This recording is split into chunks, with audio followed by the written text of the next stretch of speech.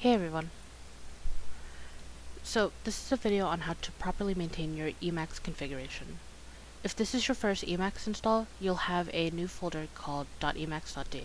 If this isn't though, like if you followed the instructions in my slides to make a .emacs file, we're going to start afresh and delete the .emacs file, or you can adapt what I'm saying to your configurations. Right?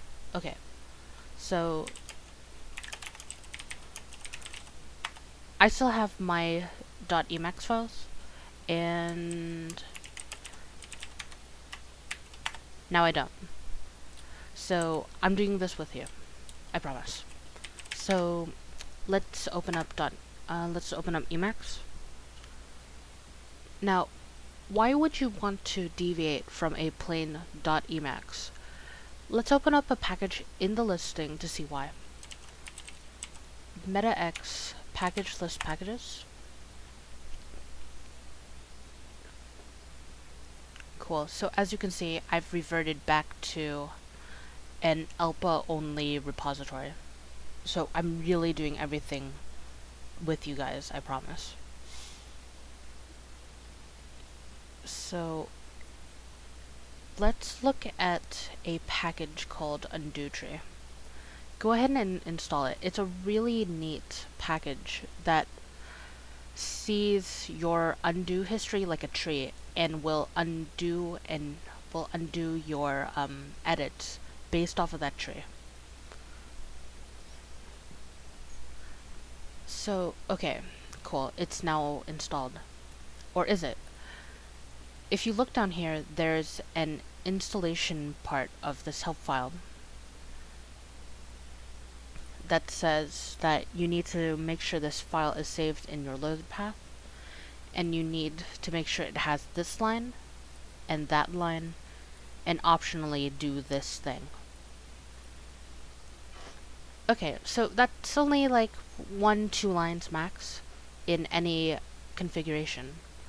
However, imagine, imagine 10, 20 of these files with little edits that you need to do like that it's easier to make a whole bunch of tiny files that have configuration details for that file specifically than to put all of these into one large file. So what we're going to do is we're going to install these things modularly. That way we can better debug things when they break and so it's less cluttered when we do need to make a edit to the main configuration. So what we're going to do now is we're going to make a config file specifically for undo tree. I'm going to switch buffers to the um, compile um, to the compile news over here on the left. So Control XO. Now, what I usually do is I put all of my um, detail configuration in files into a specific subfolder within the .emacs.d. So metax make directory. So let's get back down to .emacs.d what can you name your configuration detail file? Anything, as long as you know what it is, then that's all that matters. Um, and as long as it doesn't conflict with any folders that are currently existing. Um, I usually opt to put it as a Lisp folder, although you can just call it a make config or a package config or whatever you want to name it because it'll make sense to you at least. So as long as you know what it's called, do what you do. Um, okay, so I'm going to make a directory called Lisp inside of the .emacs.d. And that's what this looks like. And I'm going to hit enter, and it's already made, because that's a really quick thing. So, now what? I'm going to stay over here on the left side so I can go edit a file inside of that Lisp directory. So Control XF, let's go back down to Lisp. Now I'm going to make a config file specifically for undo tree mode. Um, name it whatever you want, as long as you know that it has to do with undo tree. So I'm going to do undo tree config.el. Hit enter. Since it doesn't since it doesn't exist, it'll make a new file. Now let's put in what I want to do so I can configure it to work with Emacs it says to do require undo tree. And then I like it when it undoes at the global scale. So we'll do that as well when I can spell. Cool. Um yeah that looks good. If you want to do the optional middle bit it's really easy. Metax byte compile file it'll ask you where the file is and it'll be inside of ELPA because it's an ELPA file.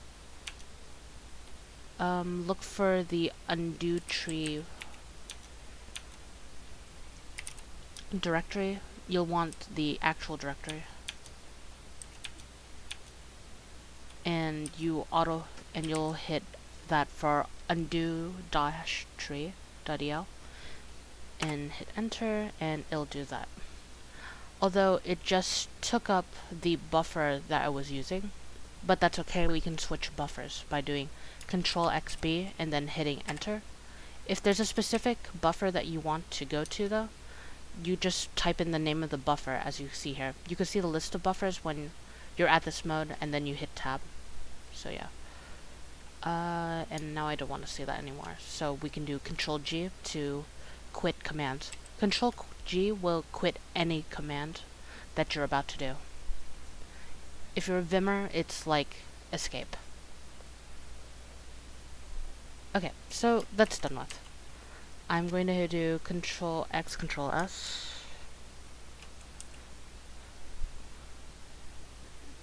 And now we want to put in the custom file for the Emacs configuration. So what we're going to do is Control X, Control F, go back up one directory to .emacs.d, and the name of this file is really important, so make sure you spell it right. init.el, so it's an init file. So hit enter. Now, what you want to do now is put in the following code. Add to list load path dot emacs dot d lisp. That says that from everywhere that I'm allowed to load from, specific add in the lisp subdirectory loading is um, an equivalent to import, like in Java or Python. So that now means that I can load the undo tree config in the Lisp subdirectory. Right? Cool. So let's save that. So that's cool. You just configured you just configured Emacs. So now let's hook in Marmalade and Melpa. Um, so you follow the same procedure. You go find a file in Lisp and name your name your file for packages like Marmalade and Melpa something. So I'm going to write in my packages. So in case I need to do things extra besides putting in for Marmalade and Melpa. So my mypackages.el. It's a new file. And now I'm just going to write in the code that I said to write in for the slides. Require package package initialize add to list package archives marmalade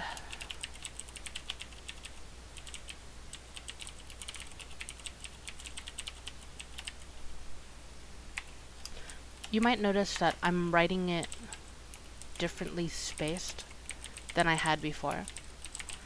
It's because Lisp does not require its white space to be in any particular way.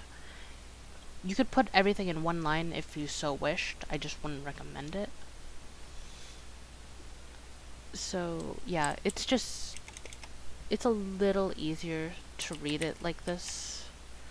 Especially since I don't really intend on having much else in this file.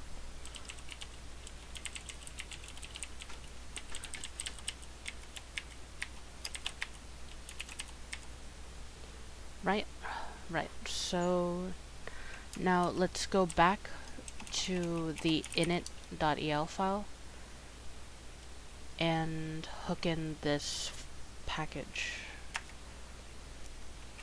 I'm going to throw the load command for that above undo tree.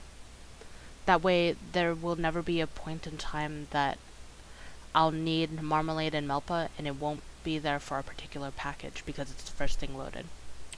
So my packages.el and then we'll save that. And we'll close it because it will need to because this is something that needs to be closed and reopened. This isn't the case for most Emacs packages. It'll, it's just the case for some. In general, you can edit your configuration and it'll just do it. So that's closing. Let's open it back up again.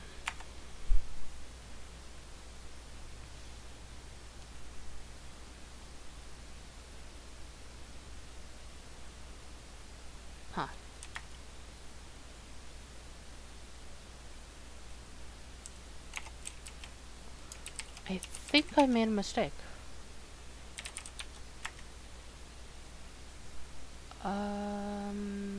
Package archive. Well, there's only one place that does package archives. And I can't spell. okay, so let's put that in. Try that again. That's embarrassing open that up again. Okay, so I've forgotten S. Remember to spell things.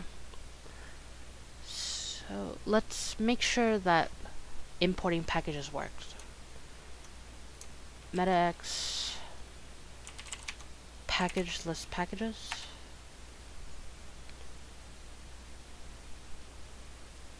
Cool. So, as you can see, you have Marmalade and Melpa open to you again. You can go and install Geiser if you so wish. Um, I don't think guys Geiser needs, oh, actually, let me go check that. By the way, you really should look at some of these files. They will make your life a lot easier. In some of these, it's just, it's fun to install. Uh, I think I'm missed it. Oh, there's a Sauron package. Huh. L, B, and G.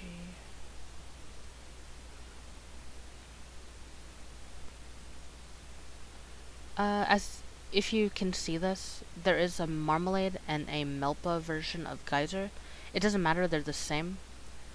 Because Marmalade and Melpa are still different listings, so sometimes they'll overlap. Okay. Yeah, it's so it doesn't need anything, so you can simply hit install for this one. So that looks like that's the end of this video. You can now do whatever you need. Now you can do whatever you need to do to configure Emacs so it's better for you. There's a Gandalf. I mean, I just saw that there was a Gandalf color theme. There's a whole bunch of other things. I know people who run their Emac, who run um, their web clients and their IRC and email clients right out of Emacs. Some people just live in Emacs. Um, which, you know, that doesn't have to be you.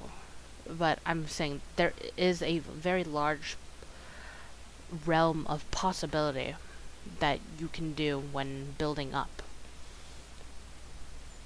So this methodology should allow you to debug any mistakes that happen in the files more easily and make it easier for you to just simply hook in new packages as they need new configurations. Okay? So remember, a good dev environment is always one that feels like home, so be sure to ask questions on Piazza so we can help you out. Uh, let's see. Bye, guys.